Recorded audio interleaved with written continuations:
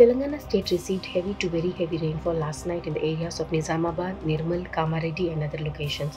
Nirmal recorded the highest rainfall of up to 16.58 centimeter.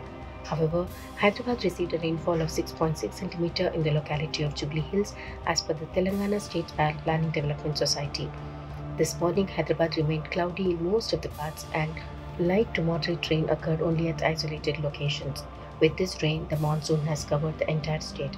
Not much damage has been reported in the state as the rains were not accompanied by gusty winds. The latest forecast by the IMD for Telangana state says that light to moderate rain or thunder showers is very likely to occur at a few places over Telangana for the next five days. Hyderabad has recorded a temperature of 34.6 degrees centigrade, which is 3 degrees above normal. The minimum temperature was recorded at 25.1 degrees centigrade. A fresh spell of rain in Hyderabad crippled the MMTS service on Monday. Several trains on the Hyderabad Lingampalli and the Falaknuma Lingampalli routes were cancelled and diverted as a result of a technical glitch that took place at Hafiz railway station at 10 am. Railway officials said that the problem was fixed within two hours.